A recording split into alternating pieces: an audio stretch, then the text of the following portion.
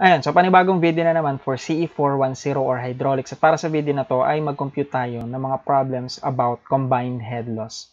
So sa mga hindi pa nakapanood dyan ng lecture videos ko about head losses, ilalagay ko yung videos o yung link sa description sa baba. Tara! Let's go! So ito yung problem. Problem number 4, determine the total head loss for the given pipeline below using the following data. So, base dito sa problem, meron ang given na figure. So, ito siya merong pipeline. No? So, yung pipeline ay hindi lang basta composed of pipes no? At meron pang may involved na ibang components gaya ng bends no? Lumiko yung tubo. So this is a 90 degree bend or minsan tinatawag nating 90 degree elbow. So bale yung 90 degree elbow dalawa siya. Say 1 3 2 So, along the pipeline din ay merong gate valve. So, ngayon, single lang naman yung size, no? Para dun sa total run, no? So, yung size ng pipe is given na, which is uh, 100 millimeters or 4 inches. So, given na rin yung C o yung Hazen-Williams coefficient para dun sa pipe, assuming that the pipe is smooth. So, that is 140 at yung system flow rate o yung Q which is 150 GPM. So, ngayon, uh, since kailangan nga natin computein yung total head loss, so, ang required is the total head loss. So, eh, ang formula natin for total head loss is the major head losses or the head losses from pipe friction So that is H sub F plus the minor head losses which is caused by other components. So in this case, meron ditong uh, elbow or 90 degree bend, dalawa, at meron pang isang gate valve. So, dapat kung gusto natin computing yung total head loss at consider natin yung minor head losses, kailangan meron na rin given or meron tayong data about the minor head loss coefficient of the following component. So, dito, given naman yung minor head loss coefficient. So, for gate valve, 10 daw, yung value ng coefficient. At, para naman dun sa 90 degree bend, given na din, yun ay 0.19. Pero, kung wala namang given data, no, syempre, ikaw naman talaga magre-research niyan kung ano dapat yung value. So, para lang dito sa ating problem, nilagay ko na siya So, given na agad yung ating uh, minor head loss coefficient. Pero kung hindi, uh, or kung wala ka man na data para dun sa gagawin mo, say kung design yan, ay pwede kang magtingin sa mga references uh, para dun sa value ng K. Let's go! Ayan, so write down na natin yung ating solution. So, kung titingnan nyo, dalawa lang naman yung ating kukumputin. Yung major head loss o yung head loss due to pipe friction at yung head loss from other components o yung minor head loss. So, simulan natin dun sa uh, major head loss for major head losses.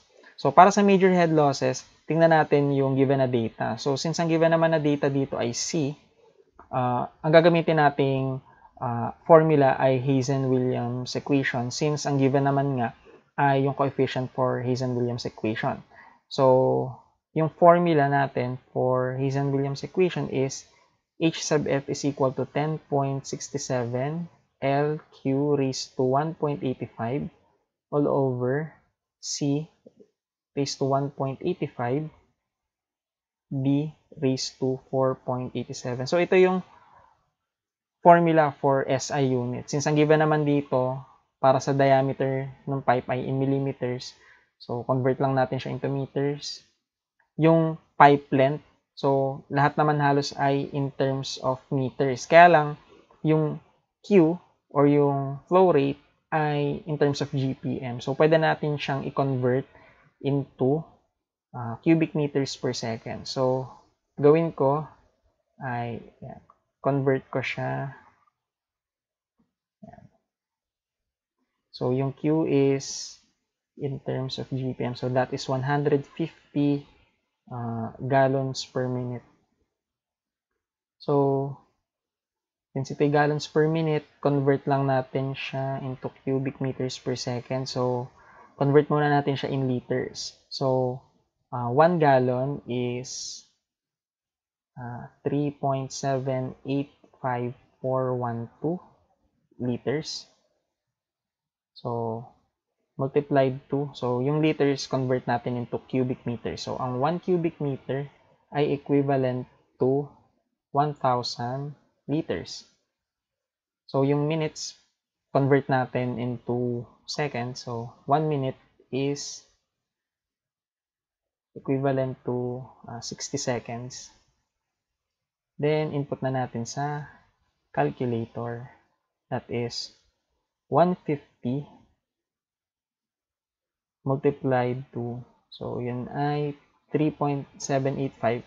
Oops! What happened?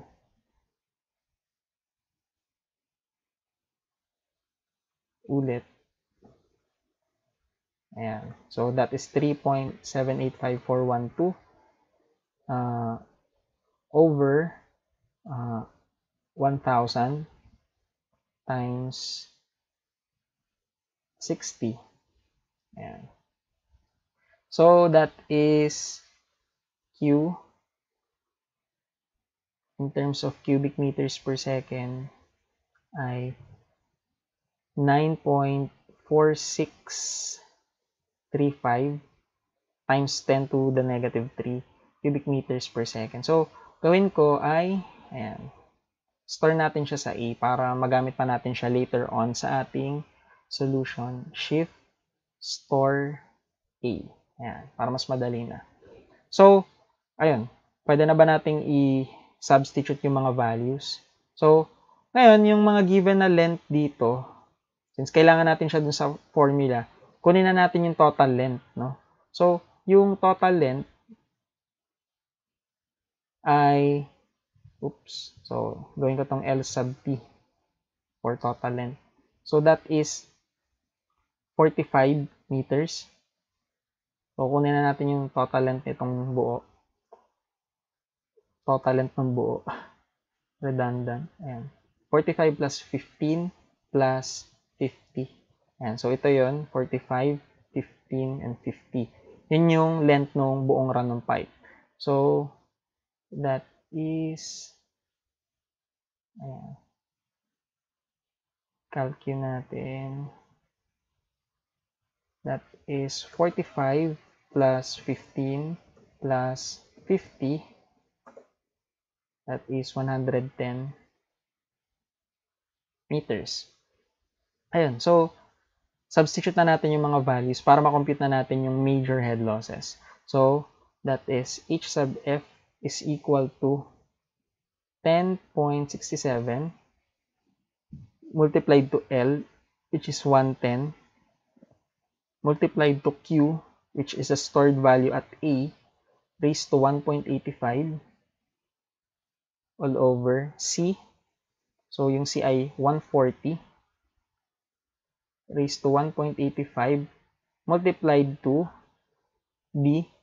So, D is 100 millimeters. So, convert natin into meters. That is 0.1 uh, raised to 4.87. So, yun. Pitin na natin sa ating calculator. So, that is 10.67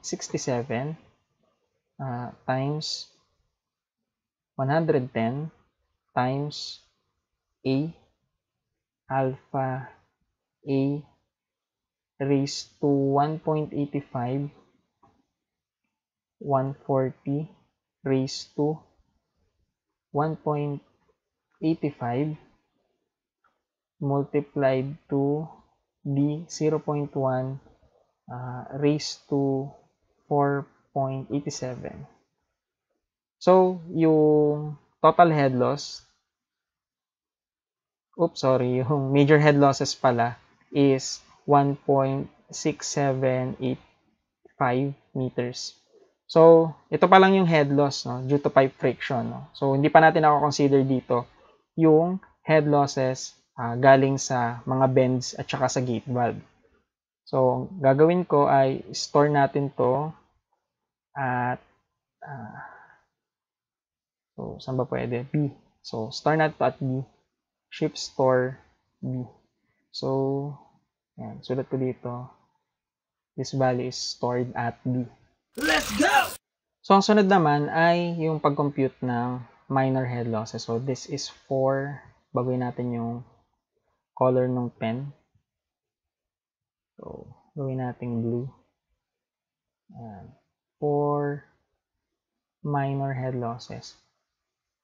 So, dito, wala namang uh, mga sudden or gradual uh, contraction or enlargement ng pipe size. No?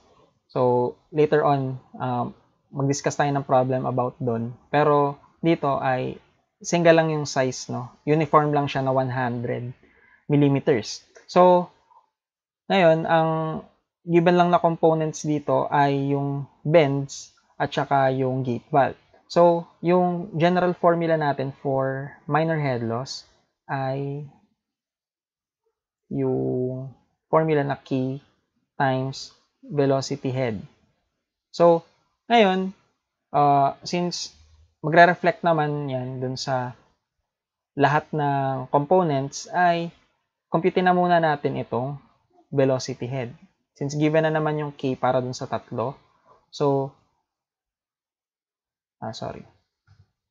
Velocity head v square over 2g is also equivalent to 8q square over pi square gd raised to 4. So, bakit ko to ginawa? Kasi nga, ang given na dito sa ating problem ay yung flow rate.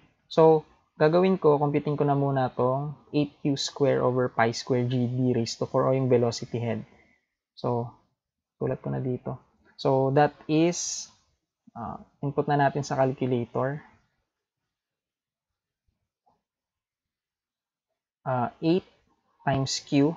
So, that is the stored value at a. So, alpha a 8q square over pi square shift pi square multiplied to g 9.81 times d which is 0.1 raised to 4. So, so yung value ng velocity head ay 0.07. So, ngayon ang gagawin ko ay 0.07 meters. Gawin natin ay store lang natin to sa sa, sa C. So, stored at C. So, this one is stored at C. So, ngayon, tatlo yung components no, na may involved. So, ang kailangan natin makompute dito ay yung summation no, ng lahat ng components. No? Yung minor head losses no, sa lahat ng components. So, that is uh, H sub L is equal to uh, K. So, simulan natin dito sa, ano, ah, dito sa bends na to. So, ngayon since dalawa yan,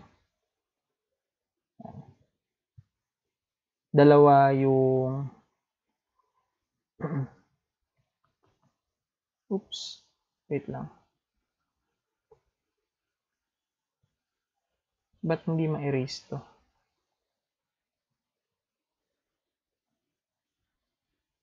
Ayan, na-erase na.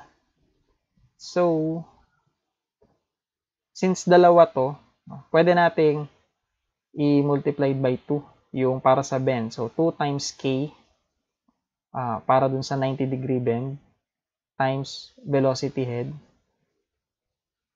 plus yung para sa gate valve. So, that is k. So, gawin ko na lang GV to just to indicate that itong K is for gate valve. So, multiplied to 2G. So, ngayon, ayan, substitute na natin yung mga values. That is H sub L is equal to, so, 2 multiplied 2 para dito sa 90 degree bend, yun ay 0.19. So, multiplied to 0.19 times velocity head which is yung stored value sa C plus para dito sa gate valve, isa lang yan. So, that is uh, yung K ay 10. So, ito yun. So, 10 multiplied to the velocity head which is uh, C. Ayan. Then, compute na natin yung value ng H sub L. So, gawin ko ay, ayan. so that is 2 multiplied to 0.19 multiplied to uh, alpha c which is yung stored value natin at c o yung velocity head plus uh, para sa gate valve that is 10 multiplied to c. So, press lang natin pang alpha c. Yan. Ayun. So, yung value ng H sub L is 0.76 meters. So, ayun. So, kung papansin nyo, mas mataas yung value ng uh, H sub F, no? Mas nag-dominate yung value ng H sub F. Ibig sabihin, mahaba yung run at kokonti lang yung uh, components gaya ng gate valve bends, no? Pero may instances naman na nagdo-dominate naman yung minor head loss, lalo na kung sobrang iksi lang ng run, pero ang daming components, ang daming valve, ang daming fittings. Ayun. So, ang gagawin ko ay store natin tong value at D. So, stored ko to at D para makuha natin yung total head loss. Kasi gagamitin pa natin siya sa solution.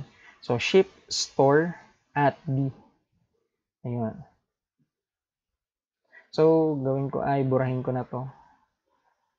Man, wala na kasing space, space, space, space, space. Yan.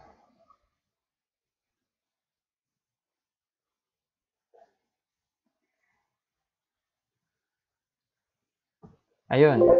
So, yung total head loss is equal to H sub F plus H sub L. So that is uh -huh, H sub F is the stored value at B plus H sub L o yung stored value at B.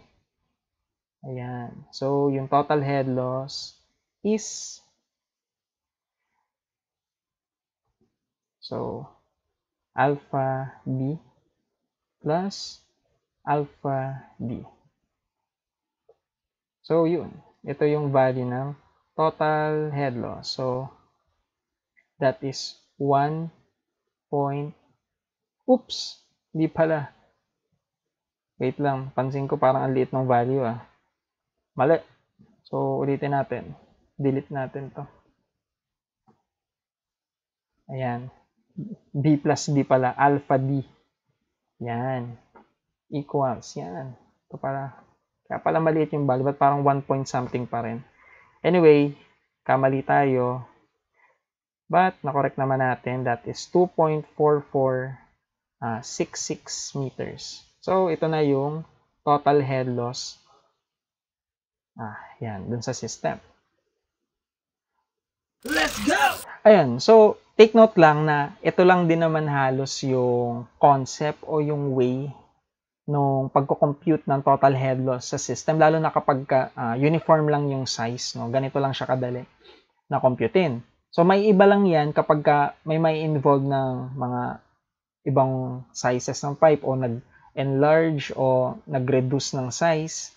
So ibang way na ng pagko-compute yon o meron ng mga multiple branches ng pipes na dadaanan so ngayon uh, ibang way na rin yun no at padadaanin pa natin siya through hydraulic analysis. Kaya lang, sa mga simpleng uh, run ng pipe at uniform lang yung pipe size, ganito lang yung way ng pagsosolve natin. So, yun lang para sa video na to. Sana may natutunan kayo at see you sa next video. Thank you so much.